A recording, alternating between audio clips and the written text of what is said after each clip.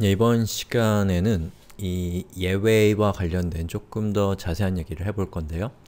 어, 우리가 API를 만드는 방법, 그리고 그 API가 예외를 발생시켜서 사용자에게 어떠한 이 오류 상황을 넘기는 방법을 우리가 살펴봤습니다.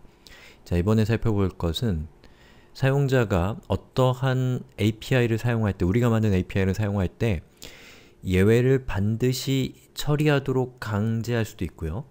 아니면 예외를 처리하거나 처리하지 않거나 그건 사용자 마음으로 돌릴 수 있는 이 방법이 있습니다. 예, 그거에 대해서 알아볼 겁니다. 자, 우선 간단한 그 로직으로부터 출발을 하죠. 자, 이렇게 생겼습니다. 내용을 보면 그냥 클래스 이고요. 자, throw arithmetic exception이라고 하는 메소드를 호출하면 여기 있는 이 코드가 예, 호출이 되는 그런 간단한 클래스입니다.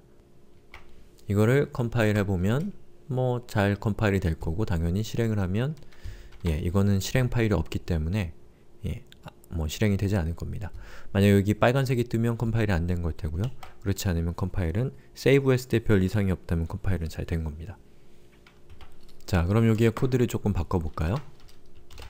void throw 이번에는 io exception을 하고요.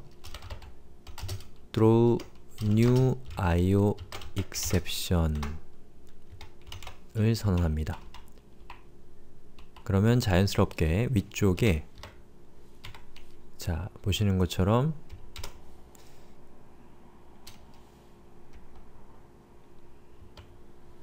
이렇게 IO exception을 임포트 시켜야지만 얘를 사용할 수 있겠죠. 자, 그런데 지금 어때요? 여기에 이렇게 빨간색 선이 떴습니다. 그건 뭔가 문제가 있다는 얘기예요. 예.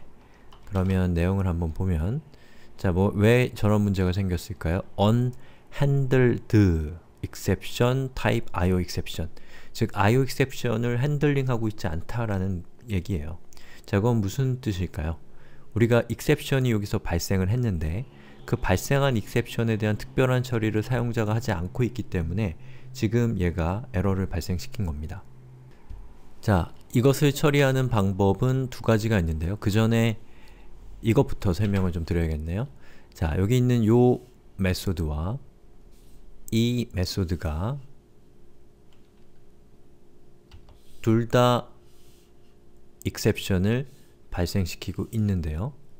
그런데 얘 같은 경우는 이상하게 아무런 문제가 없는데 얘는 왜 유독 똑같은 익셉션인데 붉은색 밑줄이 쳐져 있을 것인가 라고 하는 것이 이 예제의 핵심적인 겁니다. 자 일단 여러분은 그런 의문을 가지셔야 되고요. 그 의문은 지금 바로 해소해드리지 않을 거고 어, 다음 동영상에서 해소해 드릴 겁니다. 자 우선 throw IO exception에서 발생한 저 예외를 처리하기 위해서 전 두 가지 방법이 있을 수가 있습니다. 그래서 저는 이 메소드를 두 개의 메소드로 막 만들어서 그 두 가지 방법을 하나하나 소개해 드릴 겁니다. 자, 첫 번째는 우리 이미 아는 거예요. 제 surround exception 해서 try catch로 묶어주는 겁니다. 자 그러면 되고요. 자 또 하나는 자 여기서 어, 이번에는 add throws declaration 즉 현재의 IO exception에 대한 처리를 이 API를 사용하는 사용자에게 throw 하는 것이 두 번째 방법입니다. 자, 이걸 통해서 우리가 알 수 있는 것은 지금 arithmetic exception과 IO exception이 똑같이 둘 다 exception인데 그럼에도 불구하고 어떤 녀석은 어, 예외 처리를 하지 않아도 문제가 없고 어떤 녀석은 예외 처리를 반드시 하도록 강제되어 있다라는 것을 여러분이 이해하시고 왜 그럴까라는 궁금증을 갖는 게 이번 예제의 목표입니다. 아셨죠? 자, 그게 됐을 거라고 저는 생각하고 이번 동영상은 끝내고 다음 동영상에서 그 이유를 찬찬히 살펴보겠습니다.